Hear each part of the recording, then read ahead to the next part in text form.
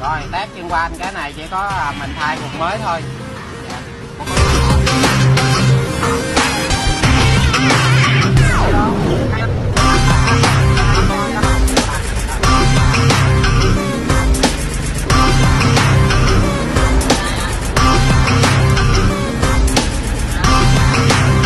Con ở nhà con thay dùm cho bộ cái cục nha.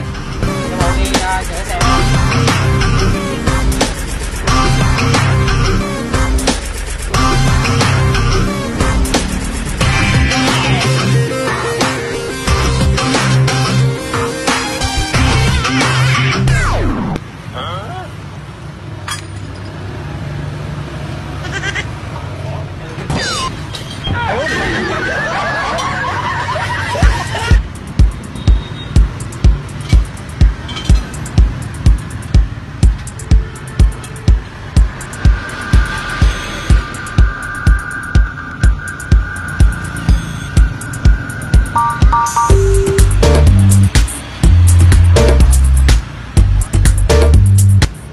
Con á, mới vô học nghề, thì con nhìn và làm theo sư phụ.